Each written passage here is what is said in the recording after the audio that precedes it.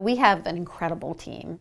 What is unique is that we come from all different areas. From psychiatry, from psychology, technology. And we have innovators, pediatricians, neurobiologists, members from like uh, engineering. And together we do something that we couldn't do separately. We're doing both a big challenge scientifically for my team and helping society at the same time. Knowing uh, about childhood mental health, about autism, about um, those with anxiety, we can help them be more successful in school.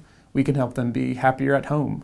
If we're going to understand how to help your child, how to help my child, we really have to understand all children.